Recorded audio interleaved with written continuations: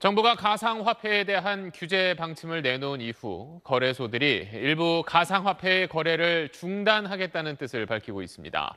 유명 거래소 세 곳에서만 가상화폐 17개가 거래 중단 종목으로 지정됐고 또 55개는 유의 종목에 포함됐습니다. 이뿐 아니라 올해 9월부터는 거래소 가운데 문을 닫는 곳도 나올 걸로 보이는데 투자자들이 피해를 줄이려면 어떻게 해야 할지 화강윤 기자가 짚어봤습니다. 가상화폐의 원화 거래가 중단되면 투자자들은 보유한 가상화폐를 현금으로 찾을 수 없습니다. 사실상 휴지 조각이 되는 만큼 거래 중단 종목이나 유의 종목에 지정되면 손해를 보더라도 서둘러 현금화하는 것이 피해를 줄이는 방법입니다. 거래소들은 상장 폐지 공지 이후 짧게는 일주일, 길게는 한 달 정도 현금화할 수 있는 시간을 줍니다.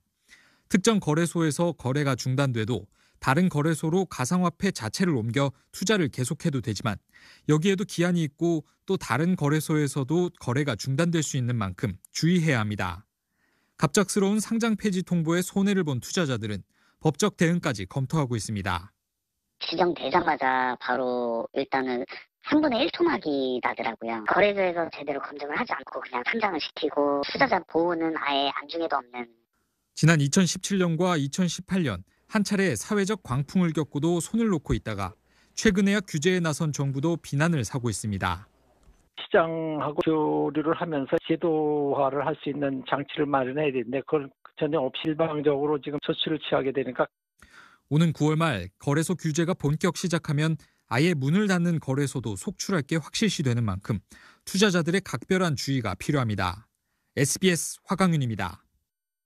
네, 안녕하십니까. 김현우입니다. 더 많은 뉴스와 라이브 이벤트를 보고 싶으시면 화면 오른쪽을 눌러서 구독해 보시길 바라겠습니다. 또 저희 SBS 앱을 다운로드 하시면 속보 알림도 받아 보실 수 있습니다. 항상 저희 SBS 뉴스를 시청해 주셔서 대단히 고맙습니다.